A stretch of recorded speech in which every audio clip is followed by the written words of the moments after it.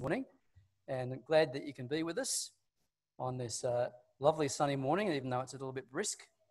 And I hope you're ready to encounter God this morning as we meet together to hear from His word, to praise Him, albeit silently uh, in most cases, and also to hear from His word of how we should um, consider government and our response to government. So that'll, that's what we'll be hearing today. So let's start by um, hearing our first song. Um, this one's called Behold.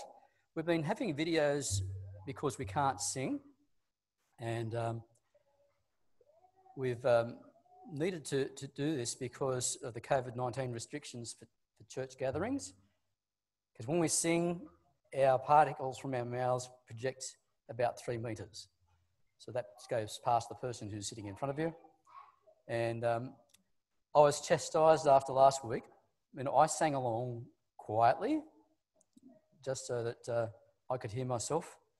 But apparently, other people could hear, hear me as well, and that may encourage other people to sing who might not be able to modulate their volume as well as I can.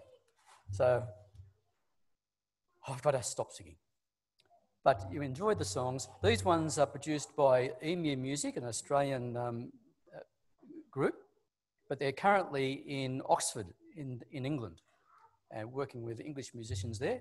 And they've produced a number of videos that churches can use for free. So that's why we're using them. First one is called Behold.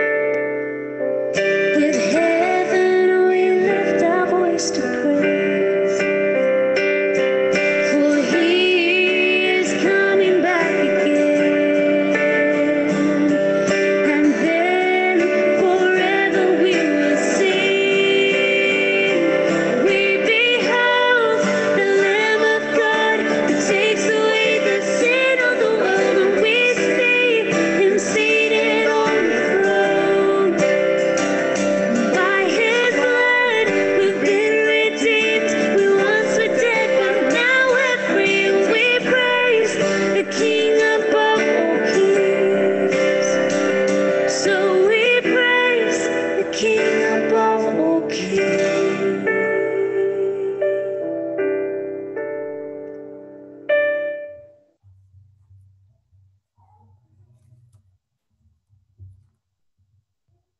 of Judah, Lamb of God, the King above all kings, only Jesus.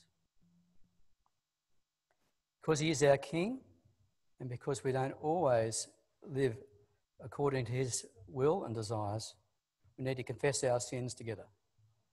So let's do that now. Merciful Father, we have strayed from your ways like lost sheep. We have followed too much the desires of our own hearts and have broken your holy laws. We have left undone what we ought to have done, and we have done what we ought not to have done. Yet, good Lord, have mercy on us. Restore those who are repentant, according to the promises declared to us through your Son, Jesus Christ.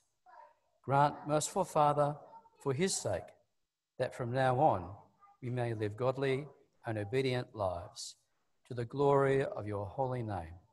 Amen. And the good news is that because of Jesus, who paid the price for our sin, our sins are forgiven, and we can start afresh with him today. Let's declare our faith with the Apostles' Creed. We believe in God, the Father Almighty, creator of heaven and earth. We believe in Jesus Christ, God's only Son, our Lord, who was conceived by the Holy Spirit, born of the Virgin Mary, suffered under Pontius Pilate, was crucified, died, and was buried. On the cross, he descended into hell. On the third day, he rose again. He ascended into heaven he is now seated at the right hand of the Father and will come again and judge the living and the dead. We believe in the Holy Spirit, the Holy Apostolic Church, the fellowship of the saints, the forgiveness of sins, and the resurrection of the body, and life eternal. Amen. Well, Simon was going to bring a big picture update this morning. Um, Simon isn't with us this morning because uh, yesterday he started to feel unwell and thought it would be best if he didn't uh, risk anyone by coming this morning. So he stayed at home and asked me to take his place. But he sent this video uh, to update us about chasm. Música 10 years ago, there was almost no scripture in the local high schools in the Campbelltown area. So the local churches got together to start high school scripture. We're now in eight high schools and we are committed to seeing young lives changed through Christ. Well, the coronavirus has given us a pretty weird term. We haven't been able to be in schools teaching classes this term, but as teachers, we have been able to spend our time praying. We've been praying for the staff of the schools as well as, of course, for the students and for their families. We've been developing our own skills as teachers, and of course, we've been preparing lessons ready to get back in and keep teaching. The good news is that the Department of Education has said that Scripture can go back from the start of term three. So we've been getting in touch with principals, getting timetables sorted out, so that we can get stuck back into classes as soon as we can, uh, and we cannot be more excited. So as Scripture returns in term three, please keep praying for us teachers. Please keep praying for the students. Please keep giving as the Lord leads. And please continue to encourage the students in your churches.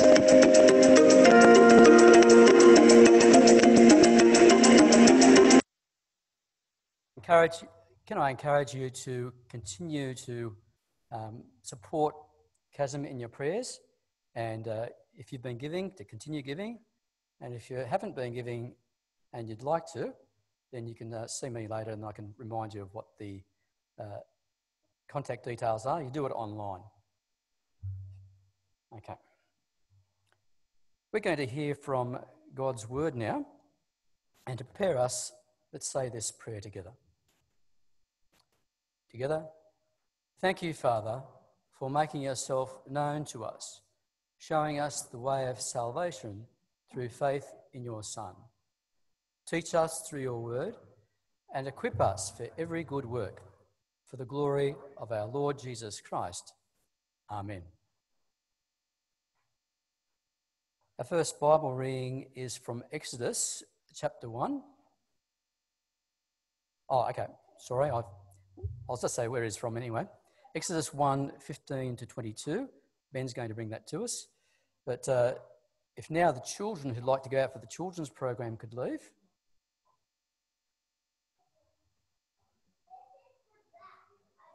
So I shouldn't have missed that. I've got that in green highlighting right at the top of my page. And uh,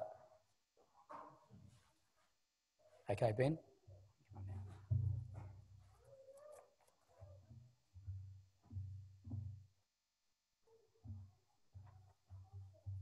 Our first reading this morning comes from Exodus chapter 1, starting at verse 15, going through to the end of the chapter. The king of Egypt said to the Hebrew midwives, whose names were Shiphrah and Puah, When you are helping the Hebrew women during childbirth on the delivery stool, if you see the baby is a boy, kill him. But if it is a girl, let her live. The midwives, however, feared God and did not do what the king of Egypt had told them to do. They let the boys live. Then the king of Egypt summoned the midwives and asked them, Why have you done this? Why have you let the boys live? The midwives answered Pharaoh, Hebrew women are not like Egyptian women. They are vigorous and give birth before the midwives arrive. So God was kind to the midwives, and the people increased and became even more numerous. And because the midwives feared God, he gave them families of their own. Then Pharaoh gave this order to all his people Every Hebrew boy that is born, you must throw into the Nile, but let every girl live. This is the word of the Lord.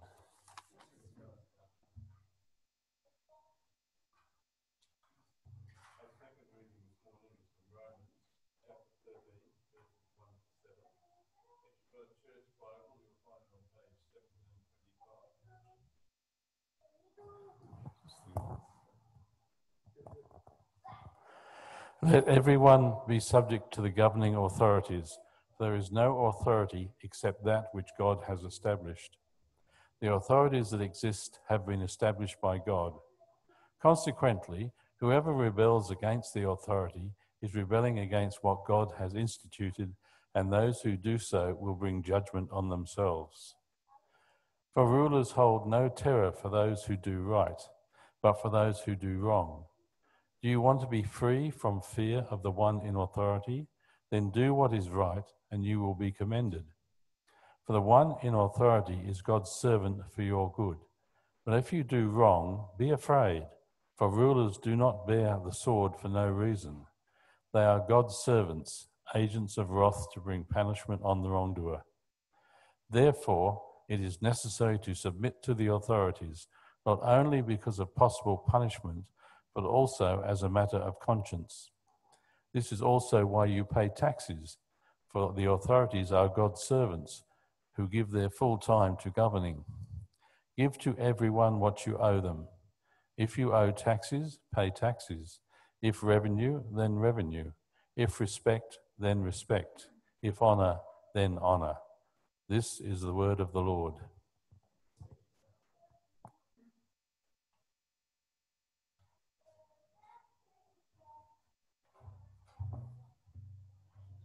Good morning, everyone. Oh, actually, could I a clicker?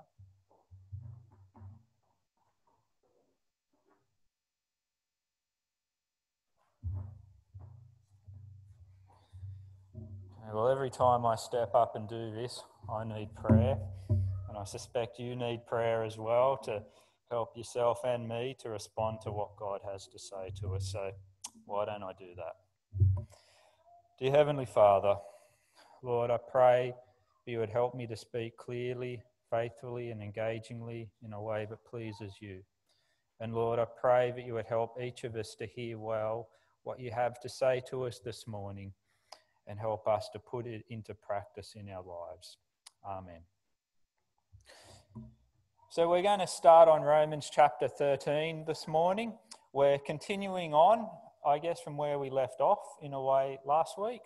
The last two weeks, we've been doing uh, how do we live as living sacrifices to the Lord. And the, the theme this week now is, is still related to that, but shifts specifically to how do we respond to government? How does a Christian respond to government? But imagine a world where you had to make a choice to either obey your government that you live under or obey God. You had to choose one or the other. They were mutually exclusive options. Right? For many of our brothers and sisters around the world, that, that's a daily reality that they have to face. For us, it's a bit of a hypothetical question in some ways, um, but for many of our brothers and sisters, it's what they have to face every day. Imagine in Australia where you weren't allowed to be an evangelical Christian. That is, a Christian who sees the scriptures as the ultimate authority in all things in life. Imagine that you were called before a full court, uh, um, a full bench of a high court, and the prime minister of this country, and you were ordered to renounce your faith in Christ, the authority of the Bible, and your freedom of belief. What would you do if that happened? What would you do? Surely God wouldn't expect us to submit to such ungodly authorities that would call on us to do something like that. Does it sound far fetched? Well, I think it's a lot closer now than it was 20 years ago, this sort of scenario. So we're going to think today how do we respond in such circumstances?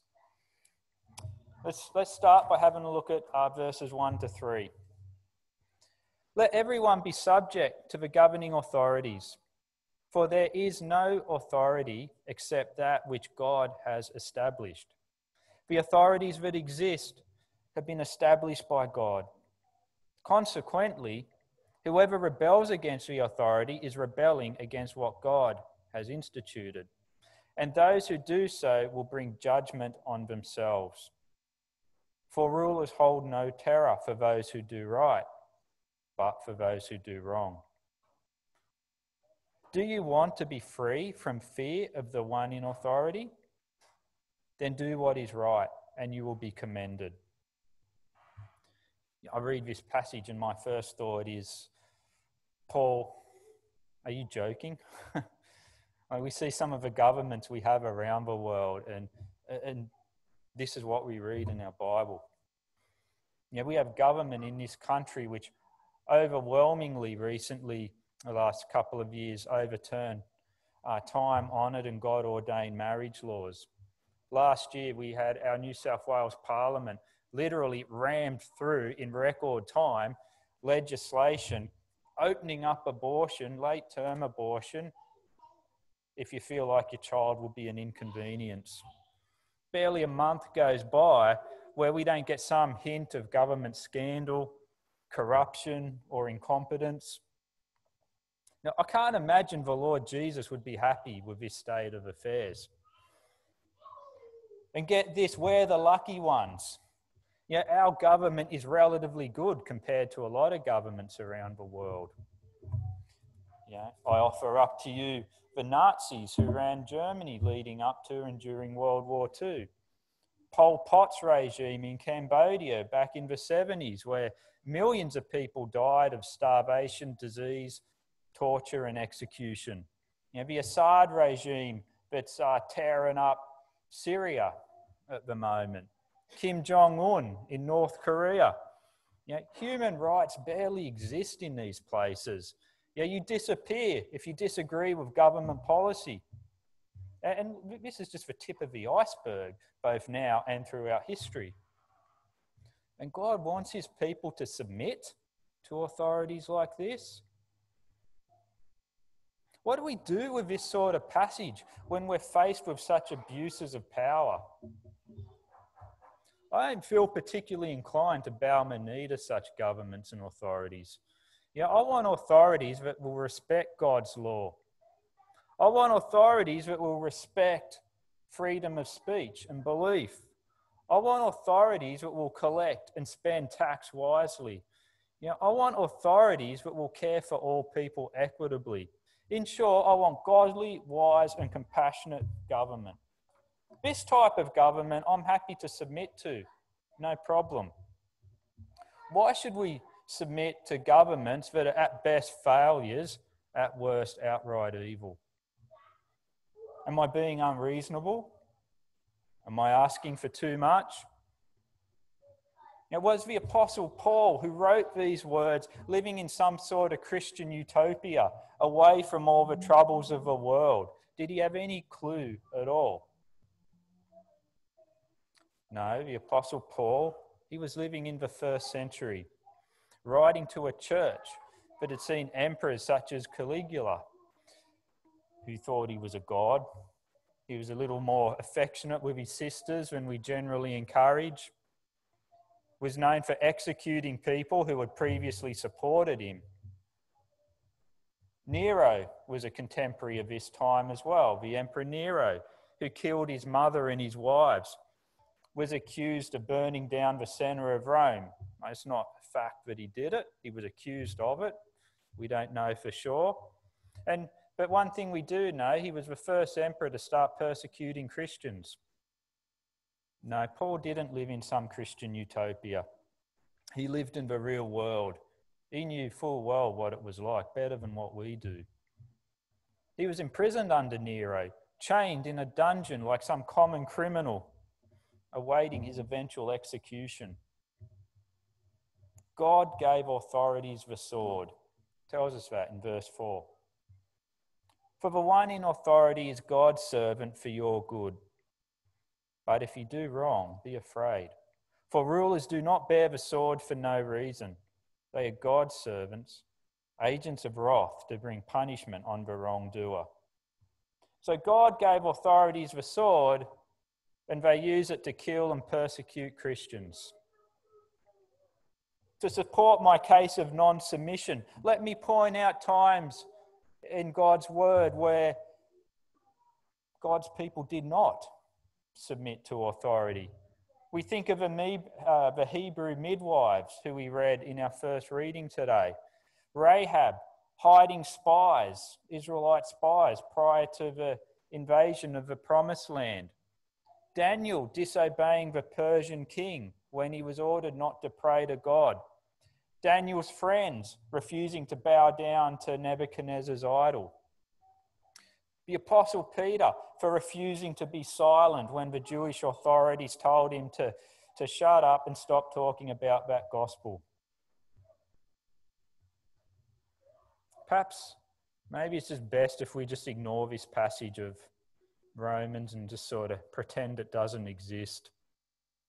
Maybe Paul was so exhausted after writing the, the mind boggling, head exploding chapters 1 to 11 of Romans that yeah, he was just a little bit confused at this point. He wasn't thinking straight.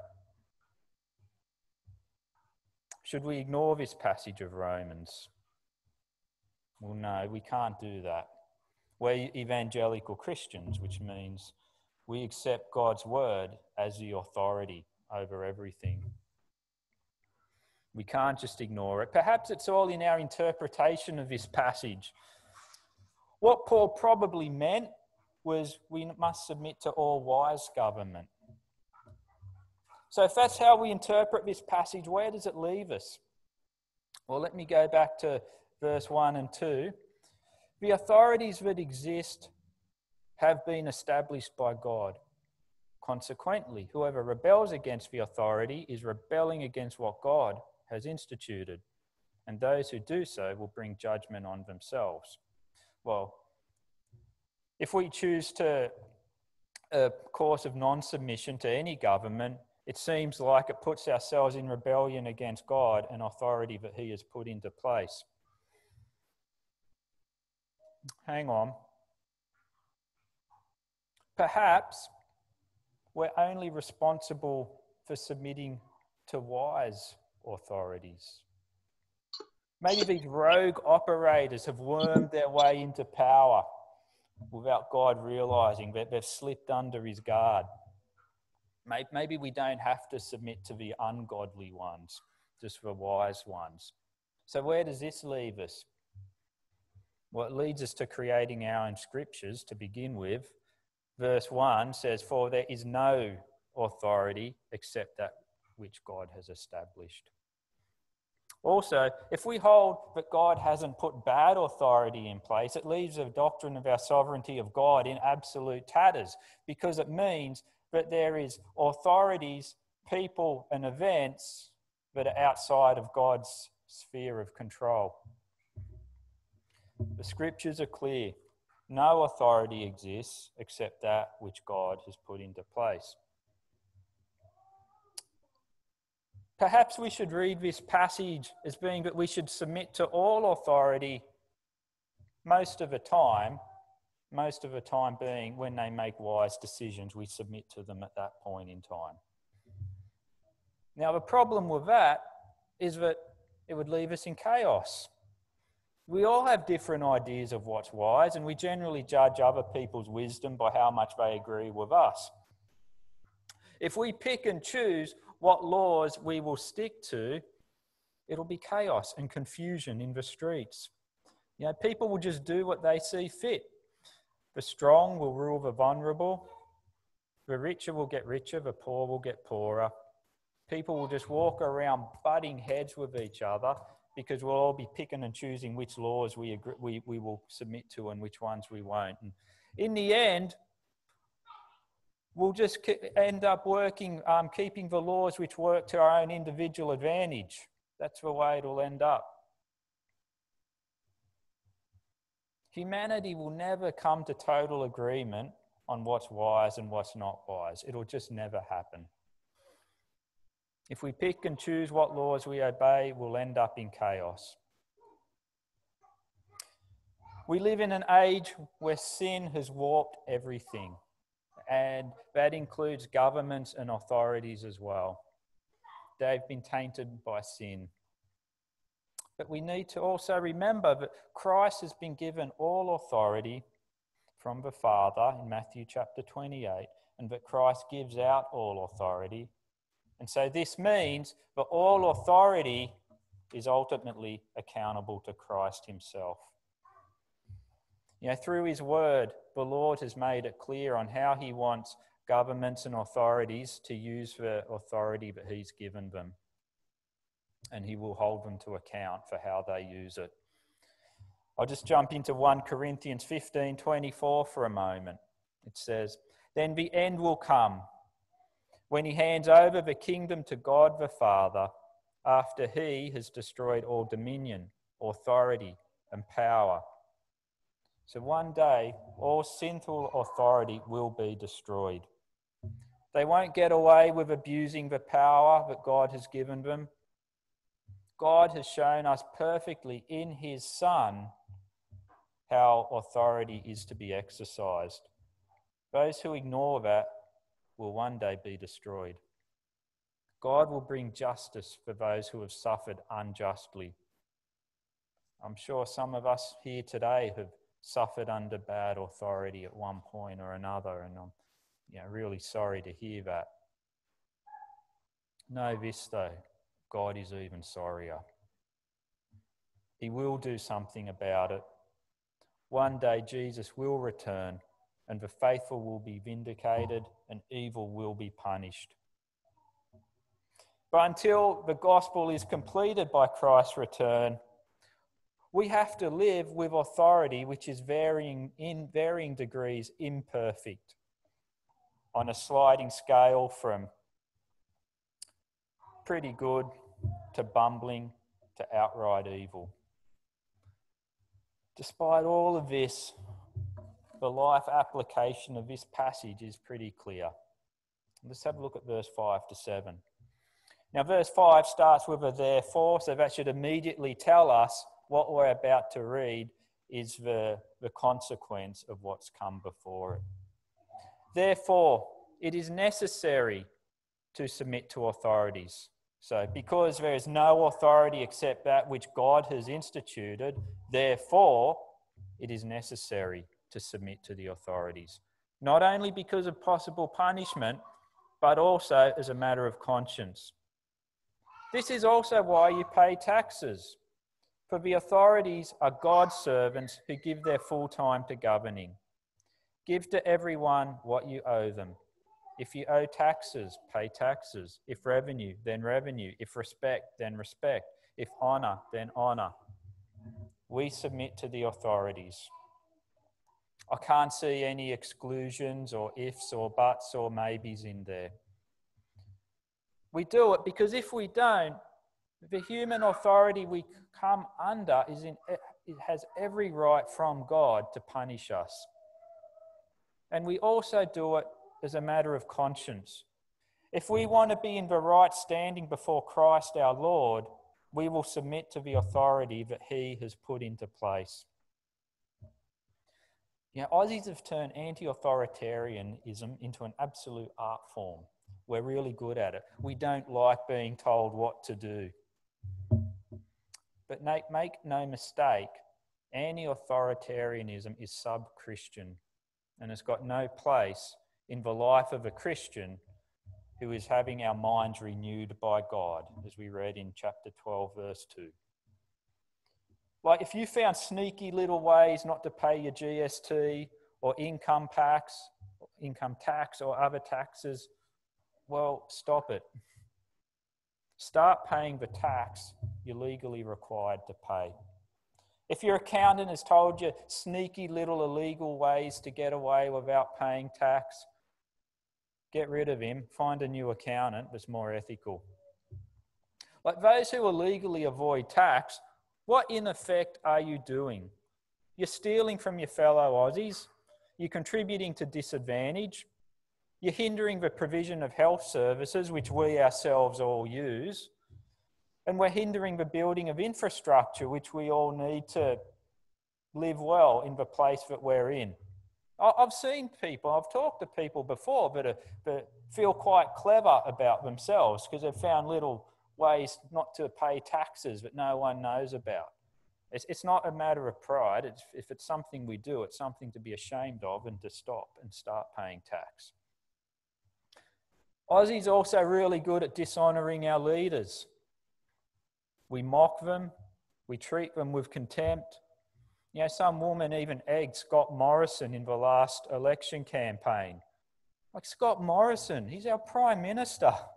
Does he not deserve better than being egged? Someone headbutted Tony Abbott in the 2017 campaign.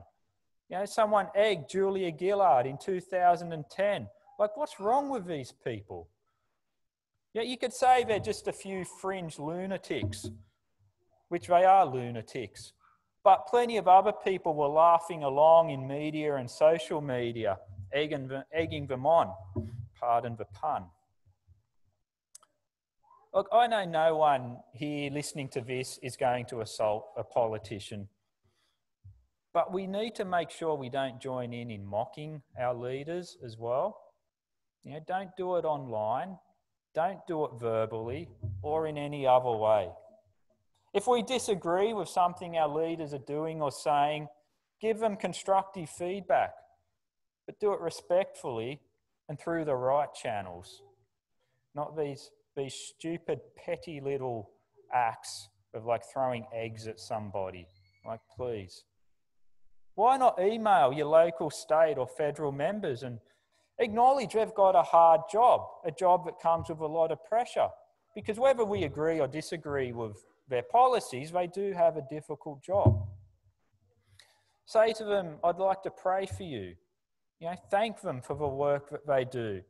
Make your thoughts known to them if there's things you think are wrong which they need to take action on. That would be Christ's way, and that should be our way too. Also, in this era of uh, COVID 19, follow the public health orders that we're given. That's part of submitting to our authorities. But how do we live well under government that forbids what God commands and commands what God forbids? We live in obedience to government up until the point that they command what God forbids or forbids what God commands. Our first loyalty is to God. We obey God. We follow the examples of the Hebrew midwives, of Rahab when she hid the spies, of Daniel and his friends, of Peter. When governments in their time ordered ungodly actions, they obeyed God and then they copped what was coming to them afterwards. We preach the gospel and we work for the glory of God. We stand against sin, we stand against evil, We stand against immorality. In the power of the Holy Spirit and united with Christ, we stand our ground. We submit to authorities, all authorities, until they command what God forbids or forbid what God commands. Then we obey God and we cop what's coming to us. It's what Christ did, it's what his apostles did. Should we do any less ourselves? But as we suffer, we suffer in hope. Because we know that the day is coming where our King Jesus will return. And by the grace of Christ, we will win in the end. Ungodly authority will be judged, and the Lord Jesus' undisputed reign as, our ruler will continue all the way into eternity. Let's pray. Dear Heavenly Father, Lord, we pray for all authority. Lord, we pray that you would help them to exercise the authority that you have given them in a way which pleases you. And Lord, I ask that you help us to submit to all authority. Help us to submit to all authority because it's how you would have us to live. And Lord, give us the courage when the time comes when government forbids what you command or command what you forbid. Give us the courage to stand up for you and your gospel. In Lord Jesus' name, Amen. Okay, we're going to watch another song now called Eternal King, and it sings about the time when our Lord Jesus will return and his undisputed reign as King and Lord will continue into eternity. Thanks.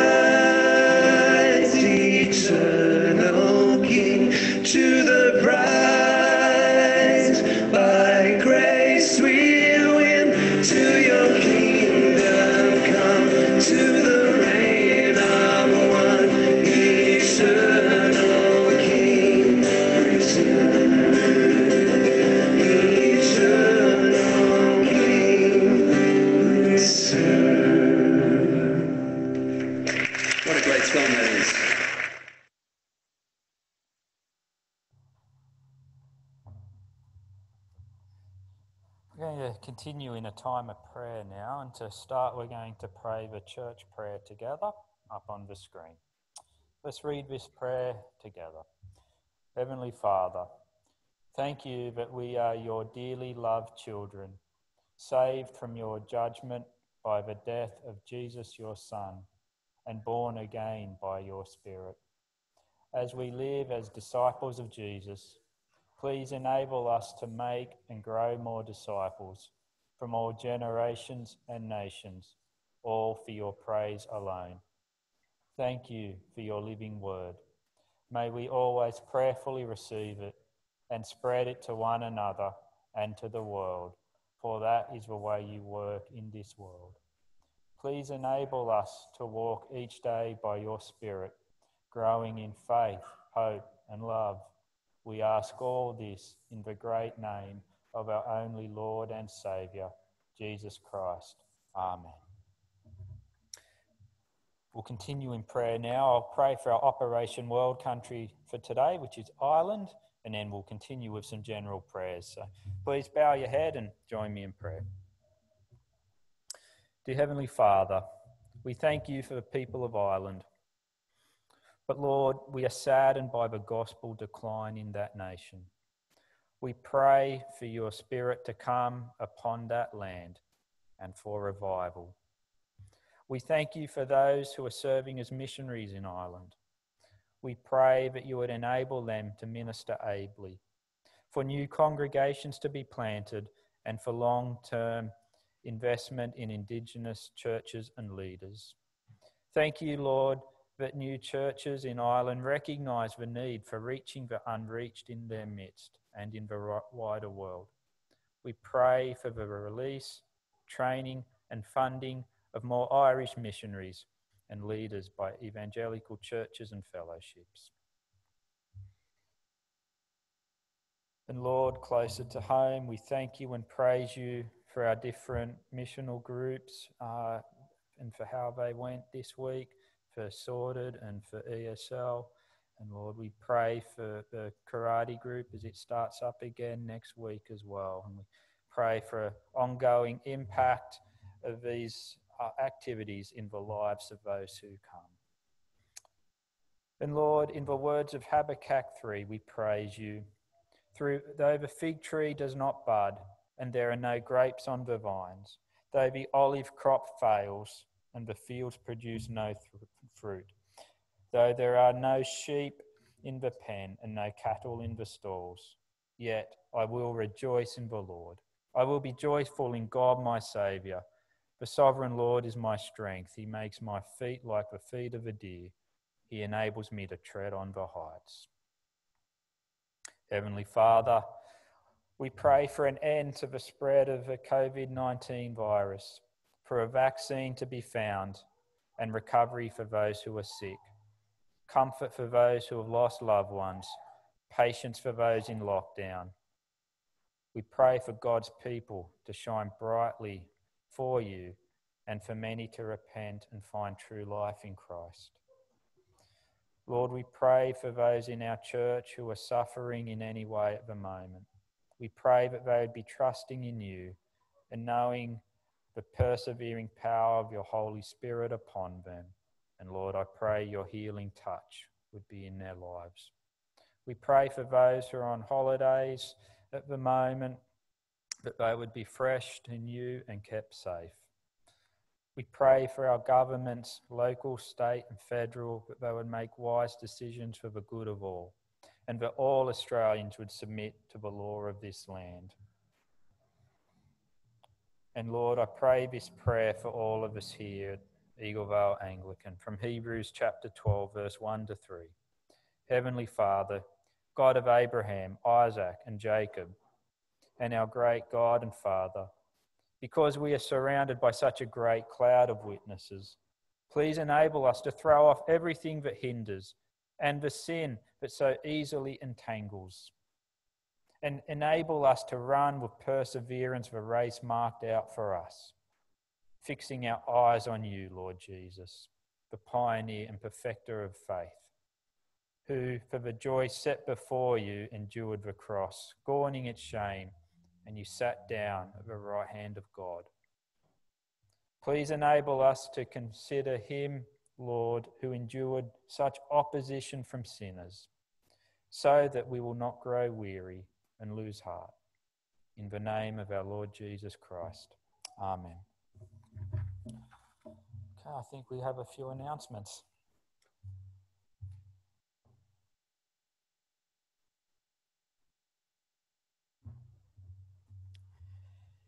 Yes, uh, Craig and Sandra are on holidays, and uh, I found out this morning that they didn't make it to Queensland.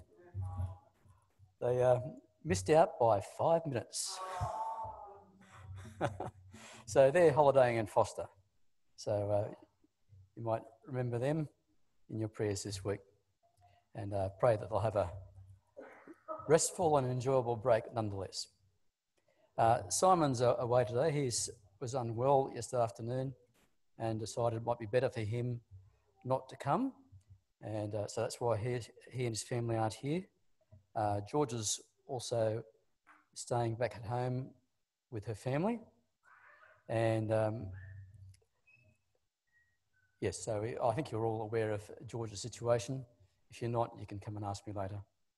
And uh, when you're staying back uh, after the service to chat, it may help the people who are cleaning if you go to the back of the hall and do your chatting there, that way those who are cleaning can get started earlier and they can leave earlier. If you'd like to serve them in that way, that would be helpful. Also, if you have an offertory, uh, either cash or in an envelope that you'd like to give to us, the box is over there against the uh, sliding door. And thank you for those who have been giving by direct uh, debit. Um, and thank you for your trusting God in uh, setting them as recurring payments. Um, that does require a bit of trust. And as uh, I'm taking over the Treasury job uh, and seeing that come in every week or every fortnight, uh, I can really say that we really appreciate that. And uh, thank you for your faithfulness in that way.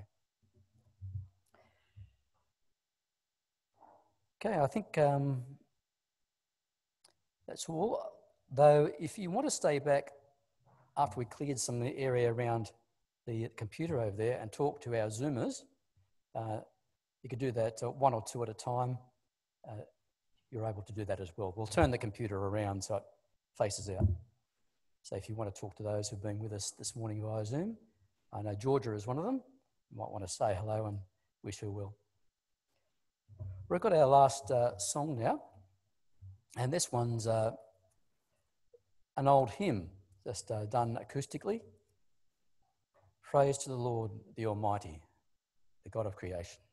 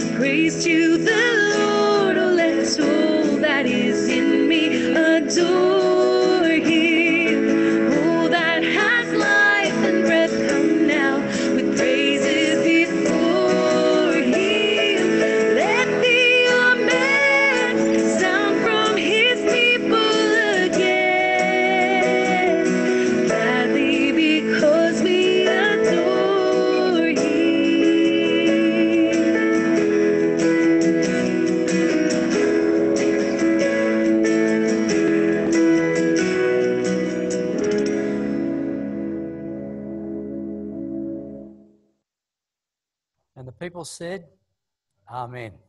Let the Amen. Let's um, close by saying the grace together. If you uh, know it and you'd like to say it to someone else, you can turn around and uh, look at them as you say this grace together. The grace of our Lord Jesus Christ and the love of God and the fellowship of the Holy Spirit be with us all forevermore. Amen. Go in peace.